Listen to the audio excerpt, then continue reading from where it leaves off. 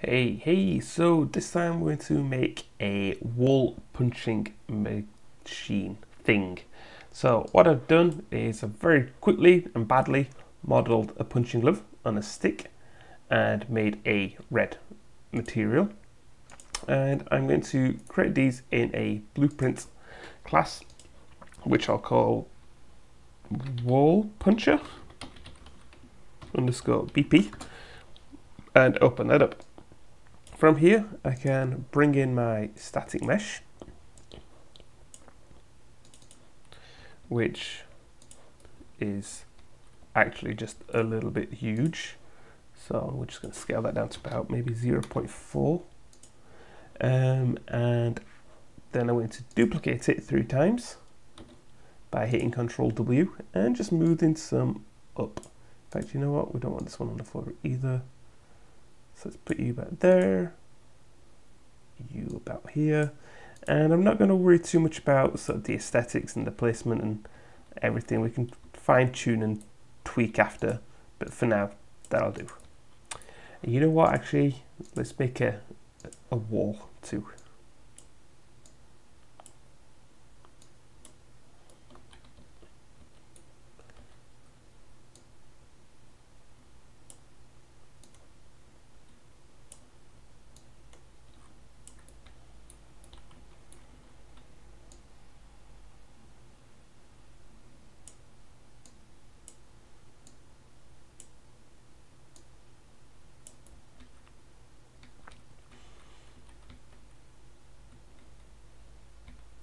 Okay, it's not the best housing system, but you know what?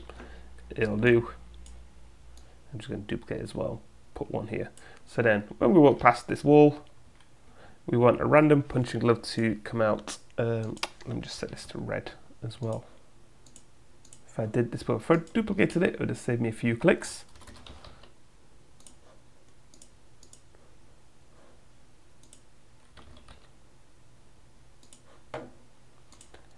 Okay, so once now we've got this set up, let's actually test the basic system. So what I'm going to do is I'm going to grab a reference to um, one of my punching gloves. We'll just do the middle one. And off this, essentially what we want to do is we're going to use a system called move component to. Move component to. And we could use a timeline as well, but you know what, this will just this will work. This will be fine.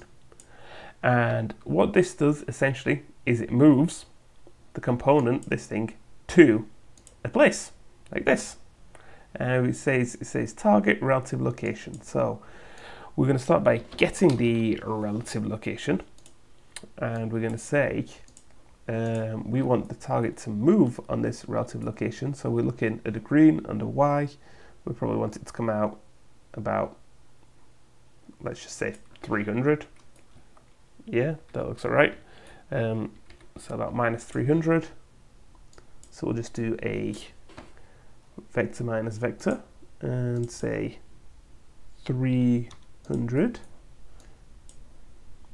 and tick Q into there and say how long do you want this to happen like almost you know 0.2 will probably be fine um, and that'll just pop out and be fun and then we're going to want it to retreat as well. So we're going to create a delay. So you can hold D and left click or just search for delay. And we'll say be out for about I don't know a second and then retreat back from whence you came. So I'm just going to duplicate this move component and essentially do the same thing really but this time we want to do a plus. So we'll do vector plus vector on 300, drag you into U, and a much slower return. All right, let's uh, actually give this a test to see how this works. So I'm just going to um, drag my wall into my world, raise it up. Remember we can press end and it should go into place. Nope, it did not. It's fine. Um, it's a bit ugly, but you know what? It should it'll do.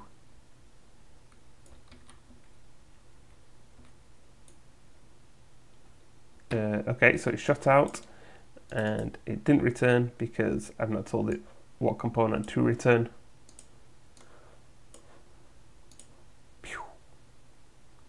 Cool. Okay, so that works. Now, what we want to happen here, essentially, is we're going to, I mean, we've got a couple of sort of ways to do this. We've got like the easy way, which would be to just duplicate this three times and just change the reference um, to punching bag 2, punching bag 3. You know what, yeah, let's just do, do, it the easy way and I'll show you the hard way after in case you're interested. Though it's not a hard way, it's just, I suppose it's just a different way. So instead of this being punching bag 2, we're to get punch, this punching bag, rewire it all up, and then do the same thing again.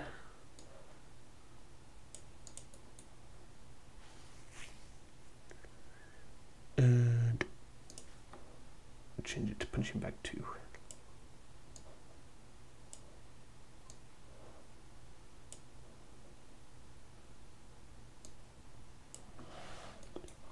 Okay, so essentially we've got like three systems now, and what we want to do is um, we'll do a new event. So we'll do a custom event. Oops, yeah, that'll be fine actually. Um, fire fist. I'm going to call it fire fist, and alt click this to deselect. I'm going to say uh, event by time. Event by so set timer by event. I'm going to link it up so this event is going to be this one. And every, I don't know, three seconds, in fact, let's make it slightly more fun than that. Let's just have a, a random float in range. So it can be a minimum of 2.2 or 4 because we need you know like 2.2 seconds to actually complete the whole thing. So we'll do 2.4 just to make sure it's fine. Gives a bit of room and cool. And then that's going to loop. And what we can do at this point as well is we still wanted to do either one of these randomly. So let's do a switch on int. switch on int and create three events for this and wired them all in like this and then this again let's just do another random range random int in range between 0 and 2 because don't forget numbers start on 0 if you're a game and let's have a look so hopefully, randomly, each one of those should fire. That one fired, it was good. Oh, there we go.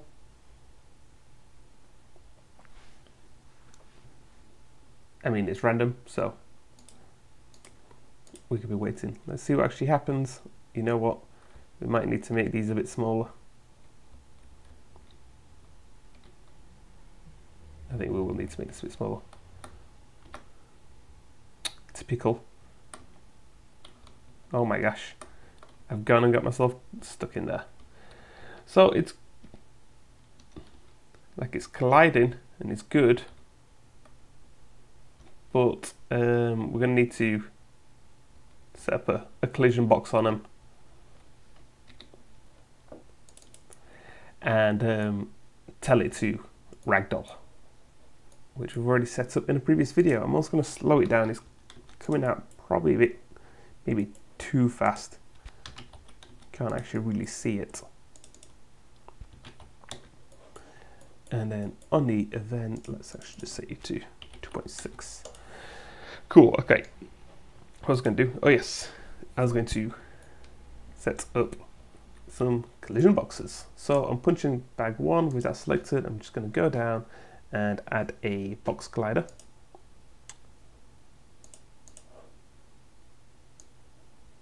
And we can sort of see it here. I'm just going to scale it up a bit. And of put that on the front of the fist. So hopefully, um, and it'll be really a similar process because we've already created it. I'm just going to do on begin overlap, which is the second one down. Um, on act begin overlap, if it is the third person character, we will call the event dead. Did I call it dead? I can't remember. Did I call it ragdoll? You know what? Let's actually just have a look. Let's just open a third person character. And I've got my dead event here. It's called hit. So when it hits, it's going to turn on the physics for simulate um, mesh and it's going to delay and it's going to restart. Cool. Okay. So it was called hit.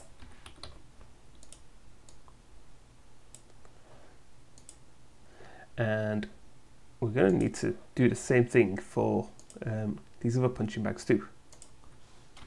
So I'll just cut here. So I've just added more box colliders on these and just repeated the same thing. Let's actually give it a test.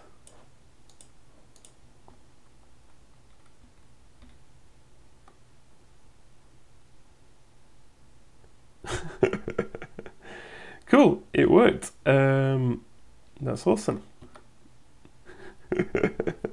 that's really good. That's really good. I wish I made it look a bit visually better. I might tweak it and refine it a bit now. I should have made the stick a bit longer and maybe hidden it.